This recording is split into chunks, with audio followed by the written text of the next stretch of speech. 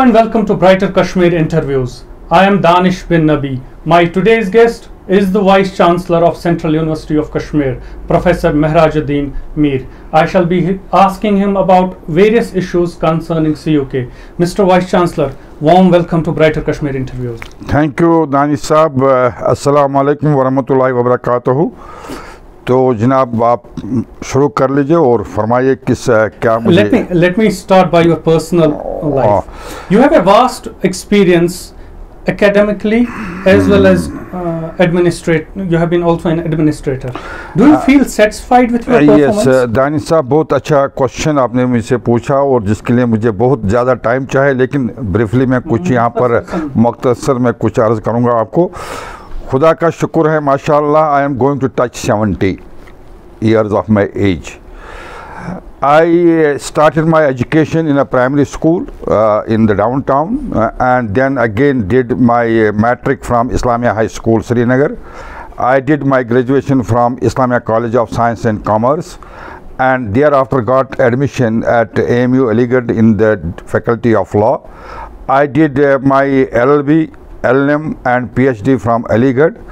And when I completed my studies way back in 1976 I got an appointment. I got an opportunity to work in the University of Kashmir in the Department of Law.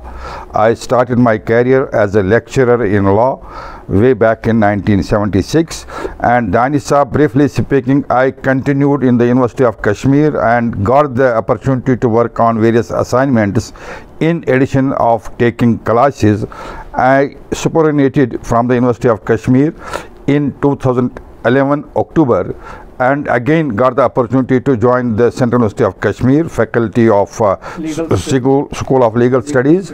And here I remained as a dean and then got an opportunity to officiate as a vice chancellor for about uh, two years. It was almost one year and uh, 10 11 months and thereafter I was appointed as a vice chancellor of this Central University of Kashmir mashallah with the grace of almighty I completed my tenure of 5 years but uh, ministry has granted extension to me and I am going to complete 7 years of my tenure as a vice chancellor on 2nd of March Mr. Vice Chancellor, you have shifted your departments to Gandarbal now. Yes yes How much time would it take to develop all these departments? Uh, Sahab, uh, all this very question which you have posed, it has its own history and geography. In the sense, as you know it, the Central University of Kashmir came into being way back in 2010, along with other 14 universities in the country. And immediately when this was established in a rented house somewhere in uh, Hyderpura, agitation started in Jammu. They uh, made a, they asked for a separate university for Jammu. Accordingly, a separate university was granted to Jammu, known as Central University of Jammu. Till then, both uh, the universities were kept on hold. The Central University of Kashmir started its functioning with some departments, teaching departments, in uh, Magarmal Bagh, in uh, in then in Navgam. Because Mr. Vice Chancellor, it's a long story. Now the departments have shifted. just just just i'm coming yes you Can are you right kindly briefly yes touch yes upon I. I will i will just i'm just i will jump i will jump from what Kindly i'm saying jump. uh, i will take a big jump well dani as i said uh, uh, the university expanded so far as it is academic programs are concerned and we had no option but to take more and more buildings on rentals finally uh, uh, we decided with the help of the then state government and uh, we were given some uh, uh, structures at Gandarbal and we shifted almost all, all, all the departments to Gandarbal. At present in Gandarbal, we are operating at four places. One is this where you are at present known as Green Campus. Danisab, the second is at Nunar. The third one is what we call as Old Hospital. Now we call it as a Science and Arts Campus. And the main is at Tulmula main is at Tulmula. Well, I must tell you, Danisa, which is very much relevant over here, that uh, as I said, we were born with 14 universities way back in 2010. But uh, nevertheless, our flag on academics out of these 14 universities is very high, very high.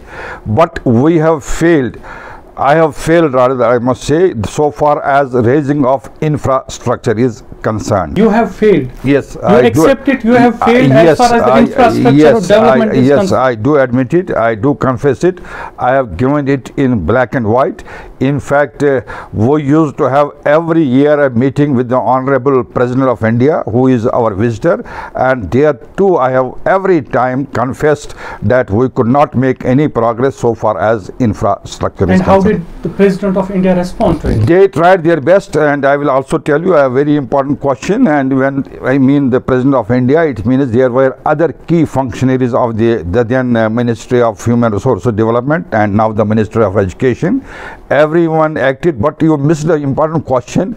You should have asked me a question why you have failed. है ना? In the- why why we have failed? Uh, Not only why you have failed, what are the hiccups? Ah, yes, that is the main. You see, in fact, as what they did, the first and the fourth question, uh, most question, important question is why we failed.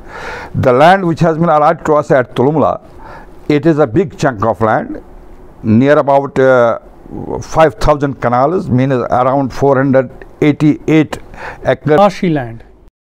It is marshy land, it is full of water bodies, and when a contract was given initially to one of the central uh, central government department known as CPWD, they were initially requested to raise a wall, compound wall, which uh, uh, the initial estimated cost was around 9 crores. They built it only 10% of the wall and thereafter they stopped the work, came with the revised estimate of 26 crores and whatever 10% they had raised that tilted and developed some creek. Vice Chancellor of CUK, what have you done as to stop it? As chancellor, as vice chancellor of this uh, this university, as a responsible officer of this university, we have referred the case to the ministry, and the ministry took the cognizance. They have referred it to the CVC, Central Vigilance Commission, at that point of time, and uh, uh, they have been taken to the TOSIC. I am not concerned what punishment has been accorded. The basic point which is our here is we have suffered and concerned what punishment they have been given? No, I'm, my concern is basically my focus was that I should get something by What did you get? that is why I'm coming to this. That is they, they could not do it, and obviously our uh, relation came to an end with the CPWD, and now the ministry is dealing with them. And Uh, Vice Chancellor, let's move forward. Crores of uh, funds have lapsed. How detrimental has it? Yes, you are right. Crores of rupees have uh, lapsed. In fact, uh, I must also confess till date, uh, till we were in the rental buildings, we have paid near about more than 26 crores by way of rentals. And initially, there was a huge chunk of money with us for raising infrastructure which we could not uh, utilize and uh, it was kept with us for about uh, three years that sanction. But finally we had to surrender that money back to the uh, ministry. And that has the basic then what we did one is uh, we were provided these uh, people came on the roads from Ganderbal. They said the university has been allotted to Ganderbal and why it is functioning in the rental buildings. And as I said, at that point of state government came uh, into action. A high level meeting was held, which was uh, presided over by the then Honorable Education Minister, Mr. Bukhari, and uh, by Chief Secretary was there, Education Commissioner was there, Divisional Commissioner was, DC was also called, and finally these structures were given to us. And here also, what we did, it was not sufficient. This accommodation was not sufficient for two or three dep- Vice Chancellor, the moot point is that the infrastructure, the funds, everything has failed. Am I right? You are right. You are right. eh? You are right. Moot point is there, but uh, I would like to complete this. What I was saying. Finally, what we did, we raised the infrastructure over here, which almost has been in a position to cater to the need present need of our existing departments. And regarding what this important question is that since it is not the fault of the central university of kashmir it is the fault of the Marsi land uh, from all the authorities it was our responsibility to inform them.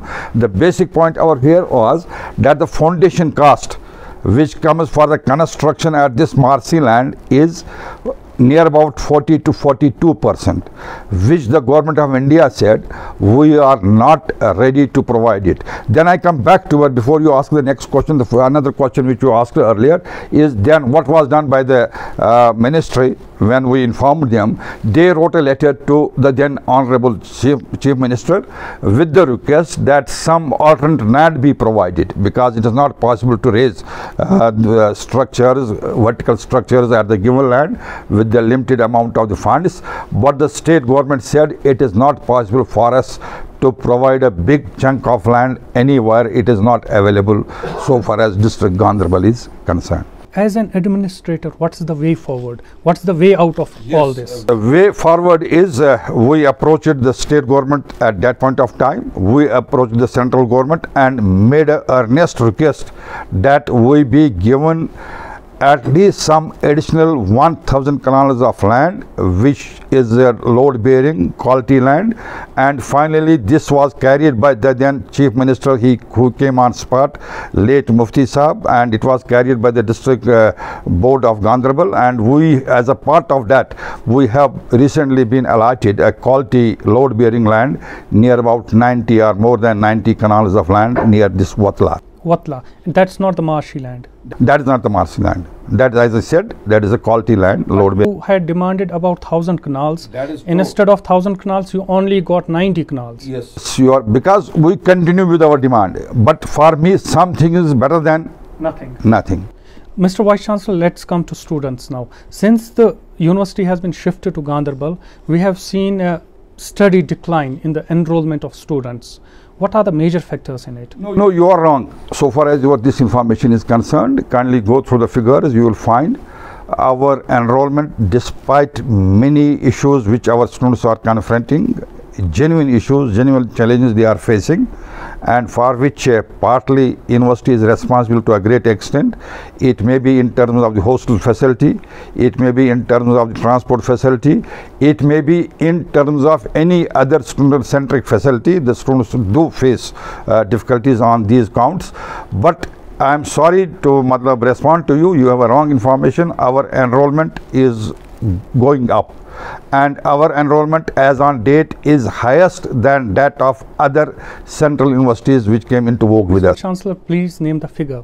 What is the highest? What do you mean by highest? Highest is uh, it is uh, what is intake sanctioned in our favor. What is the intake? Please give me a number. I can give the department wise. You name any department, take biotechnology, all the seats are filled up. We have a demand. Take the department of zoology, take the department of chemistry, take the department of law, take the department of management, take the department of comp, take any department except two departments. Except two departments where uh, I have cautioned them and they are trying their best. That is the, uh, in fact, in those two departments also now, the enrollment has touched the uh, given intake capacity. Which are the two departments? They were earlier the Islamic studies and now we have changed it into uh, that was comparative religion now we have uh, enrolled for islamic studies we got a good number and there was some issue with uh, urdu they have been in a position to come up to the target and even earlier there was a problem with what we call uh, uh, department of english. They have also come up up to our expectations and off late. It was with the media studies uh, because we had an issue with the uh, media uh, this uh, this media center. So that they have also come up nearer to the target. If we see no higher educational institution is figuring is figuring in la in hundred uh, ranks. N- No institution in Yes, you India. are right, you are What, right. what are the reasons? Uh, you are talking of all India scenario. Yes, you are right, and uh, it is a concern, and it is being this issue is being echoed in almost every vice chancellor's meet uh, whenever it takes place. The basic reason is the universities in India, by and large, have failed to contribute so far as quality research is concerned. Even the old universities and uh, uh, which were even established before 1947 the basic uh, reason for this is that perhaps uh, our focus in the this subcontinent has been on mushroom growth of educational institutions rather than quality teaching learning and research And in this regard, do you think the new education policy would help? Uh, new education policy to a great extent, if you examine it in a very critical, uh, with a critical analysis, it is going to help to a great extent because it has provided many opportunities to the students. First and the foremost, if you can spell out, is uh, there is a flexible approach. Uh, there is no cap uh, cap in the sense that you will have to complete your course within the given uh, uh, time. Then there is no cap so far as your selection of the uh, subject is concerned. You are at liberty to uh, select urdu along with botany. And Towards NEP is the visionary step taken by the president. and more or less uh, it is going to establish what we call a linkage between the lower education and the higher education which is a need of the hour Many students have to leave the Jammu and Kashmir, rather the Kashmir Valley, and move outside for the studies. How can we make it better for our students so that they do not leave the valley? You see, you have a common problem as we are facing over the decades in this part of the world, which perhaps you as a student might have also suffered, not only as a student but as a citizen, uh, whatever your age may be. Everyone us of us is confronting all these issues regarding this. First and foremost, of late, you had the problem of internet you had the you have the problem of electricity you have the problem of various basic facilities which you need as a citizen and some specific facilities which you need as a student Basic and specific facilities we need for us, for the for our students, so that they do not leave the valley. Am I right? obviously and then to provide more and more courses and more and more opportunities Why aren't we doing that? You see, if you take your own this UT now, UT of Jammu and Kashmir, you will find that here also the there is an expansion of the higher education system. There is an expansion of the collegiate education. There is an expansion of the primary education. But expansion is one thing, but You are on the right. grassroots level, things doesn't go the, You are the right. way You right. that needs to be done. For that purpose, my take is we all are responsible. We as parents, we as teachers at the grassroots level, then you can blame uh, the uh, funding agency, I mean the state or UT, whatever the case may be. Alright, The last segment, let's come to the COVID. Recently, we have gone through the COVID, rather, we are still in the COVID. Do you see online classes appropriate than the offline classes? N- Not at all. They can't replace uh, what we call uh, offline classes. Online classes cannot replace. CUK presently is working in offline mode. It is now in offline mode. We have abridged form, both online as well as. Please offline. explain. I will explain to you. In fact, if you remember, we have faced many floods in our state. You may every every now and then hartal, curfew. You are not in a position to reach to the classroom. Your faculty is not in a position to reach the classroom. We had started even four five years back. What we call audio video lectures we recorded. We used it to distribute it to the students. And thereafter, after this uh, uh, 370 abrogation, what we did, we prepared audio video lectures. Internet was down, and then after this And COVID, distributed. uh, we distributed it. Was the medium of distribution? They used to come off and on, the students, whenever there was any relaxation. Or we used to just communicate on phones if it was possible. I mean, in this COVID period, not in this uh, post uh, uh, 370 abrogation period. And uh, then what we did, we went online classes. No doubt it was only 2G. But to a great extent, we could reach, I must tell you, to near about 65 to 70 percent of our students. Somewhere down the line, did you also reach out to the government for the restoration of 4G? we made a demand in different forms we as a VCs we and uh, finally you have got it doesn't matter of late you got it and it was a continuously a demand was made by the vice chancellors to, uh, to the state to the center that this 4g be restored My last two questions. First, briefly talk us about where do you see CUK in next 10 years?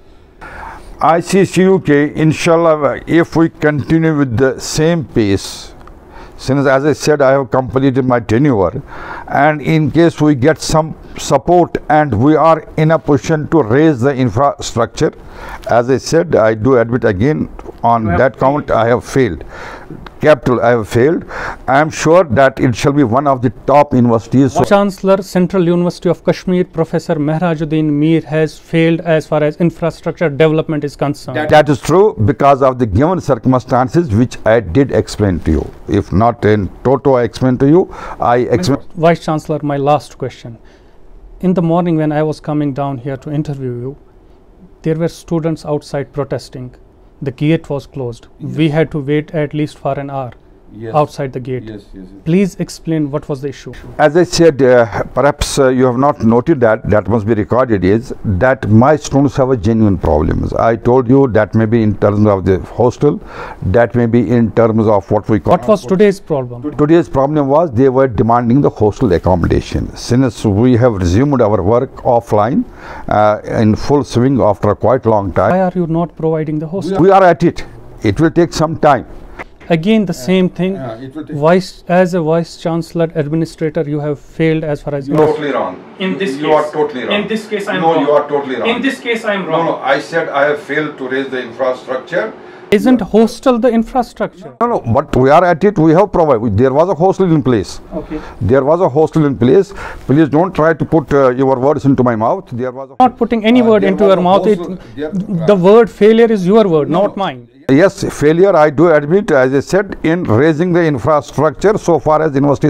Mr. Vice Chancellor, so is- you are you are that is at you are at it you are at is- it. That is It is none of my fault. That is because of the given land which was given to the Central University of Kerala. That's that's the one thing. What about today morning? Today morning, the hostel we have, there is some issues are with the hostel. We have to clean it. That was occupied by some protected people. We have taken up the matter with the district administration. The- yes- yesterday, the registrar had a meeting along with the chief warden, with the development commissioner, and we have to uh, sanitize it. We have to clean it. It will take some Can you can you give the time frame in I how many days it would I be can't done? give you- you time. I can't give you time. I can't tell a lie to my students. You cannot lie to your students. Your students have to wait.